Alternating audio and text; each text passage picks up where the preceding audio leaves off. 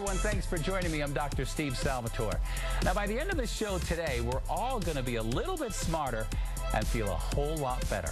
Up front, winter chills. You know, soon we're going to try and get through this winter without a sniffle or a cough, but there seems to be a lot of confusion over what really makes us sick.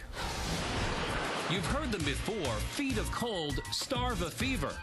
Bundle up or you'll catch a cold. Don't leave the house without a hat. But do these myths miss the mark? Or is there truth to what mom tells you?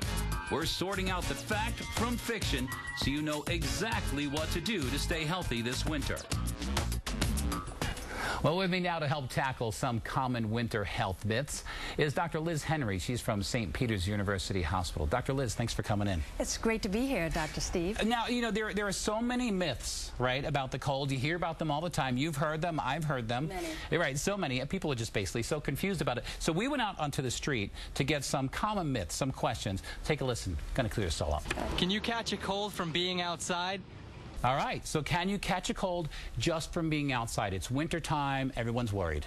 It's a common myth, Dr. Steve, but absolutely not. You can't catch a cold from being outside. Now, it's a misnomer because we say the common cold, mm -hmm. but actually the common cold is made up of 100 to 200 different types of viruses.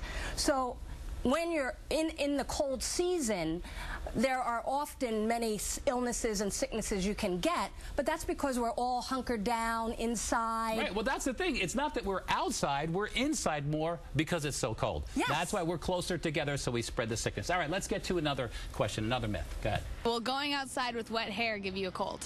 Yeah, this one, my mother, when we were kids, you couldn't go out with a wet head, right? Give right, him the answer. Right, absolutely. No, no, that is false. You mm -hmm. can go outside with wet hair and not get any more sicker. I know the parents and, mm -hmm. and moms are cringing at, at this answer, but it is a myth. Right. For the same reason that uh, going outside in the cold is, is and catching a cold is a myth. Right, it doesn't really have anything to do with you being wet or cold. They actually did the study, right? They looked at medical students and got them wet and cold and found that they weren't any sicker than regular people. All right, let's get to the third question.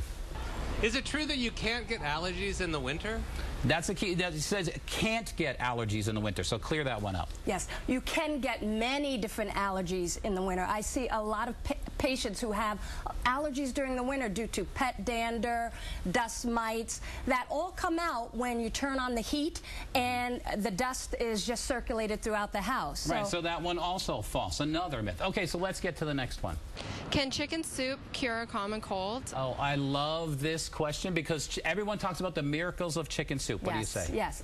There are two answers. It's yes and no. Mm -hmm. Because chicken soup cannot cure the cold. So no, it can't cure the cold. But it can make you feel much better. It actually does have some medicinal properties causing uh, decreased uh, nasal congestion and mucus thinning. Right, so you feel good when you have it. I like it. It's a little salty, you know, you're a little dehydrated. So it doesn't cure it, but it helps the symptoms. So it's false. Okay, and the last one. Go ahead. Here we go. Will taking vitamin C help me from getting sick?